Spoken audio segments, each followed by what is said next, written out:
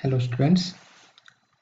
Uh, in this lecture 16 of calculus of variations uh, we are going to discuss the essential and suppressible boundary conditions then certain examples related to this and a few exercises are given for your practice.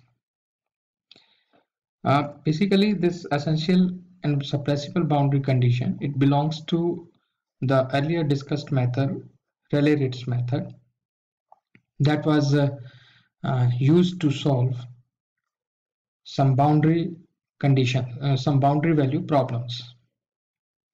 In the earlier lecture, we have discussed that when we are given a boundary value problem, then certain boundary values are given.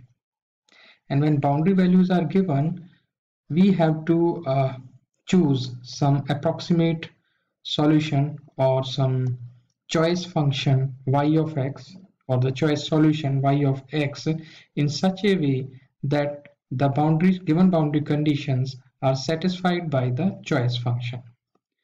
But uh, now we need certain modification in Rayleigh-Ritz method in the situation when the derivative of unknown function appears in the boundary conditions. So then Rayleigh-Ritz method uh, need certain modifications.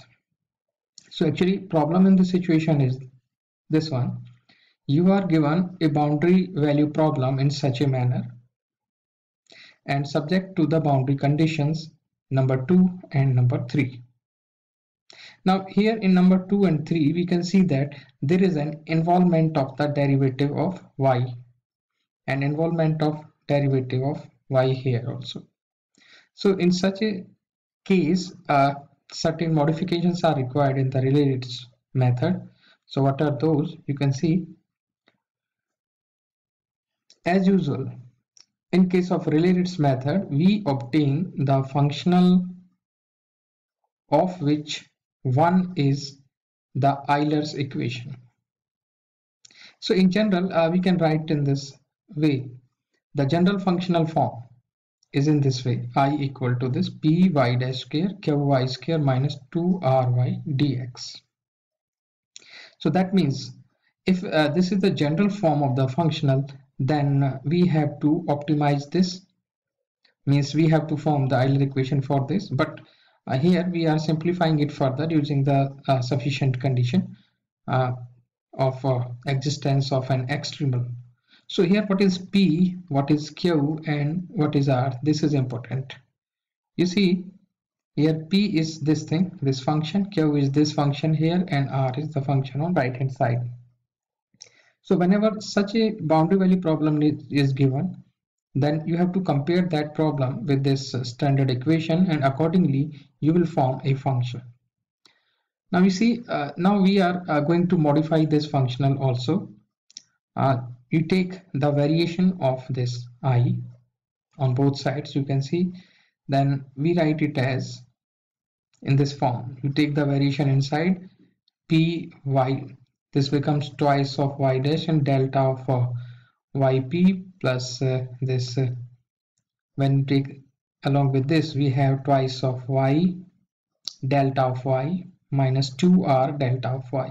So in this situation this delta of y is here and for this we are having delta of y dash. Now for this part we are taking the integration by part. We are keeping this part as such and we are integrating the first uh, part according to integration by parts. So when we integrate this one by parts so we have first function an integration of this becomes delta y and we put the limits a to b. Plus uh, this twice of you know we have the integration a to b twice and then uh, differentiation of this part. Differentiation of this part. This is equal to minus p y dash. Basically uh, actually here is minus sign. So the minus is taken here. Minus p y dash and derivative of that. Again the integration of this becomes delta y. So delta y will be here and the rest of the thing is s. So delta y here and delta y was here along with that. So that is taken outside. So delta y is here. Now the further simplifications gives you because now here uh, we will simplify by substituting the upper limit. Here it will become y dash b delta y of b then minus of uh, y dash of a and delta y of a. Subsequently uh, we are getting the terms like this. Terms like this. In fact uh, we are substituting uh, the limits in place of the variable because here p is not a constant. P is the function of x. As you know here p is the function of x. So everywhere in place of variable you are going to write the upper limit twice of here pb y dash b delta yb then minus lower limit is like that plus twice of this thing so now uh, we can get the value of this y dash a and y dash b from equation 2 and 3 respectively. From here equation number 2 and from equation number 3 we can get value of y dash a.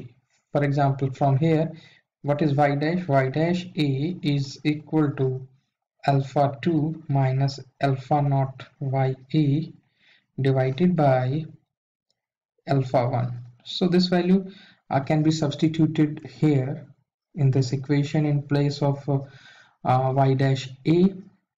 And similarly for y dash b we can substitute the value from equation 3 and we get the equation in this form. Now this equation can be converted to the form uh, because uh, here delta is with y of b. So uh, if I write in this form suppose uh, this this this part can be written in this form. You see when I'm taking delta inside so when we are applying it on this uh, function yb so that that gives you twice of delta yb. And when you apply on this you will get 2 yb delta yb. When you take the delta yb outside so you are left with only this quantity. You are left with this quantity and 2 from here and 2 from here will be taken outside. So actually this term is equivalent to this term. Again uh, we substitute here in place of this uh, the this term is equivalent to this term and we are writing this term as such. So in all of these this this uh, delta y is also there. So uh, all the terms we take delta outside. So the rest of the thing is j. So that this j becomes this thing. Because if you put delta here delta outside of this delta outside of that so all the things become like this. This equation will be obtained. So in this way now actually we have considered this uh, functional now it is reduced to this form. In fact, in such a problem, our main aim is to form a functional of this form and then applying that uh, Euler's uh, equation. You see, uh, to, hence to solve the boundary value problem given in equation 1 to 3, we optimize the functional 5, not the functional 4. In equation 5, we have incorporated the boundary conditions through the extra terms because uh, these extra terms have been obtained using the boundary conditions from where we have substituted the value of y dash b and y dash a. So there is no need to take care of the fact that whether the choice function ykx satisfies the given boundary condition. Hence, the boundary conditions are called suppressible. Suppressible means we uh, we and we don't require to take care of those suppressible boundary condition and the boundary conditions with the prescribed values are called the essential boundary conditions. So two things are the suppressible boundary conditions suppressible boundary conditions and essential boundary conditions. Our choice function have to satisfy the essential boundary condition and uh, no need to take care of the suppressible boundary condition. So let us see uh, one numerical problem based on this. Uh, note one more thing here. Uh, this is an important situation. If beta 1 is 0 in equation 3 and if alpha 1 is 0 in equation 2. Let us uh, assume this uh, first situation if beta 1 is 0 in equation 3 then the second term involving p of b in 5 has to be dropped. Because you can see if beta 1 is 0 the whole part becomes infinity. So we we, shall drop this term in the functional j. And similarly if alpha 1 is 0 similarly if alpha 1 is 0 then we will drop this term. We will drop this term because alpha 1 0 gives you the infinite. So this is the case here. So third term will be dropped in that case. So now uh, you can see this example. One where you are given this boundary condition. And of course there is involvement of the derivative. Y dash 1 equal to 0 so actually uh, here this must be the essential boundary condition. And the uh, boundary condition with the derivative is the suppressible boundary condition. So here uh, we shall assume uh, the choice function in such a way that that choice function satisfy this essential boundary condition. So we can choose this y of x equal to 1 plus cx. In fact you can choose the choice function y of x equal to 1 plus cx. Why? Because when you put x equal to 0 here so y of 0 will give you 1 so essential boundary condition is satisfied here so that is why this uh, choice function is appropriate now let us see uh, how we form the functional j in this situation. Uh, let us compare the given boundary condition with the standard boundary condition. Uh, given given uh, boundary value problem with the standard boundary value problem. So I can say that this is equation 1, this is equation 2 and this is equation 3. So let us compare the situation here. You can see uh, this uh, y double dash plus y equal to 0 can be written as minus y double dash minus y equal to 0. In fact, this can be written as d by dx with minus sign minus of 1 sorry plus 1 a y dash. And here it is 1 and minus I can say plus and here minus y equal to 0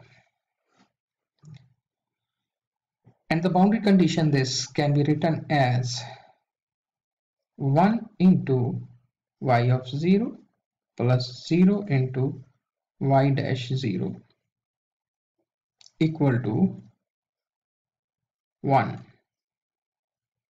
and this condition can be written as 0 y of 1 plus 1 into y dash 1 equal to 0 I have written this 3 in this form 2 is in this form and 1 is in this form. So let us compare this with this one. So you can get value of p q r alpha naught alpha 1 alpha 2 beta naught beta 1 beta 2 so let us see what are these. Here you can see that p is 1 p of x is 1 is constant function. In fact here so here you can see this uh, p of x is 1 and the function with y is considered as q. So you can say q of x is minus 1 and of course in right hand side is 0 so you can say r of x is 0 now here this is alpha naught. Alpha naught is 1 alpha 1 is 0 so alpha 2 is 1 this is alpha 2 now here beta naught is 0 is 0 beta 1 is 1 and beta 2 is 0 so now substitute uh, uh, all the things appearing over here in equation 5 as discussed here here you put the values in this equation. So you can see the alpha 1 is 0 so this term will be dropped and we will uh, consider this term here and this term here. So accordingly you substitute the values. So you can get the value of j. So let us see what is j here. J becomes the limit is from 0 to 1 limit is from j equal to j will be equal to integral 0 to 1 so what is uh, p here? P is in fact 1 1 into you have y dash square. So right here y dash square. Then we'll be having qy square plus qy square here so we write here q q is minus 1 and we write here y square y square r is 0 so we will stop here dx plus in the this term you see we have value of uh, beta 2 beta 2 is 0 and beta naught is also 0 so beta 1 is something uh, 1 here. So p of b is constant is 1 so you can say uh, in place of this the all things are 0 so we are left with only this term and that gives you this type of functional form. So in fact this j here is coming like this. Now we choose you have already chosen that yx is 1 plus cx y is equal to 1 plus cx uh, we uh, need not worry about this this third one. This is the suppressible boundary condition because we have chosen the uh, uh approximate uh, solution according to this equation 2 so uh, you put here j equal to y dash square so y dash equal to from here y dash equal to uh, this 0 and c. So y dash is c. So in place of y dash square you will write here c square. In place of y square you will write 1 plus cx square dx after uh, integrating it and substituting the limits you get this form. 2c square by 3 minus c minus 1 so now dj by dc equal to 0 that gives you c equal to 3 by 4 Therefore, the approximate solution in this case is yx is equal to 1 plus 3x, 3 by 4x. Now, if we compare this with the exact solution, because I have already uh, explained how to find the exact solution for this type of boundary value problem, you know the usual method here, the auxiliary equation will become d square plus 1 y equal to 0 so that using this you get the exact solution and that will come in this form. And uh, you see these two solutions gives the value 1.750 and 1.851 when x equal to 1 in fact when you put x equal to 1 in this one this is the approximate solution obtained. And this is the exact solution. This is the exact solution. So when you put x equal to 1 here and x equal to 1 here so using these two we get the values. This one. 1.851 and 1.75 so uh, because at x equal to 1 uh, there is uh, some difference difference is more here. So uh, we want to uh, make our approximate solution more closer to the exact solution. So in that situation as I have already explained uh, during the discussion of Rayleigh-Ritz method that we can choose uh, the approximate function or approximate solution in such a manner that may involve more than one arbitrary constants. In earlier one, I have chosen the approximate solution with one arbitrary constant c, but here if we choose the solution in such a way that involves two arbitrary constants that is c1 and c2 then uh, from here you can see it is also satisfying the essential boundary condition because if you put x equal to 0 here so this part is 0 this part is 0 so y of 0 is 1 so our essential boundary condition is being satisfied over here. This y of 0 is 1 so this uh, solution is appropriate. This choice is appropriate now again proceeding in the same manner you put here uh, here in fact y dash x uh, is equal to uh, 1 plus uh, c1 plus 2 c2x now this becomes the y dash. So now you write here uh, y dash and not 1 this is in fact this is 0 so you will write here y square then uh, y dash square minus y square so after simplification you will get the values in expression in terms of c1 and c2 so now there are two constants. So in order to get maximum or minimum value for this, we substitute this curly j by curly c1 equal to 0 and curly j by curly c2 equal to 0. That yields two equations, this one and this one. By solving these two equations, we get c1 and c2 and substituting over here the values of c1 and c2, we get this one. So using two uh, constants, we get approximate solution in this form. Now we put y of 1 here. y of 1 equal to uh, 0.849 which is uh, very close which is very close to the exact value uh, 0.85 actually it is it should not be uh, this one it should be one point and here 1.851 it should be like this so now uh, this approximate solution is closer to this because we have chosen here two arbitrary constants. So more arbitrary constants you choose in the solution, more will be your solution closer to the exact solution. So this is the solution of this problem. Similarly, uh, next example is there. Here, estimate the least eigenvalue of this problem means you have to find the value of uh, lambda and in view of the same uh, Rayleigh-Ritz method and uh, the essential and suppressible boundary conditions. So as in the last example, you can get the functional in this form j comes out to be this. And when we choose the one term approximation, approximation will be chosen in this way that y of 0 should give you 0. So this is one term approximation here and uh, when you substitute the values here this j will give you this thing. And then lambda comes out to be 3 so this is the least eigenvalue. And you can also find the exact uh, value of this lambda and you can compare with this.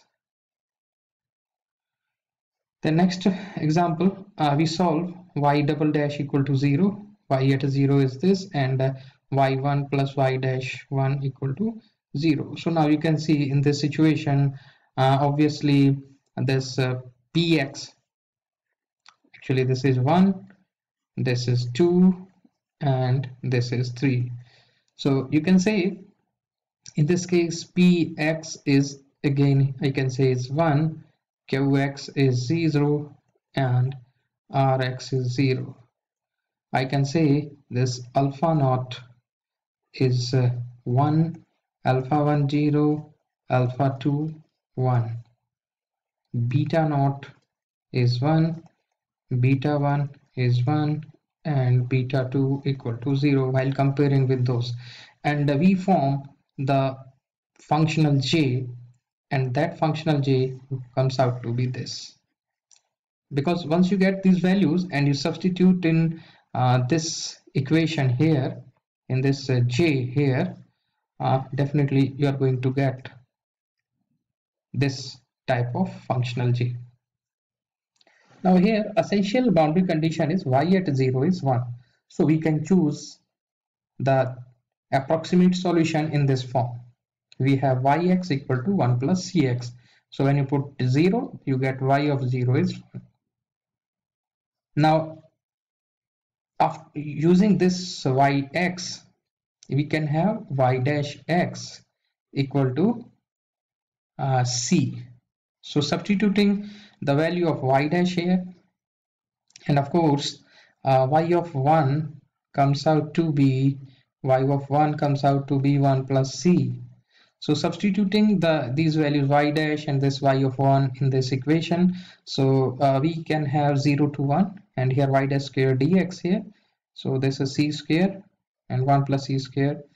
Uh, y c square dx will be here because y dash value of y dash x is c. So this becomes c square and this dx. And in place of this y square this is not in the integral. So plus plus 1 plus c square will be there. So this dx is not there. So consequently uh, this comes out to be this. J is this. So dj by dc equal to equal to 0 gives you c equal to minus 1 by 2 and when you substitute this value over here you get this as approximate solution. And when you try to find the exact solution of this equation 1 uh, using the boundary conditions the exact solution also comes out to be same. So in this uh, example the exact solution and the approximate solution both are same. So these are certain exercises which you can try uh, based on this discussion. So that is it about this lecture. This is the reference here. Thank you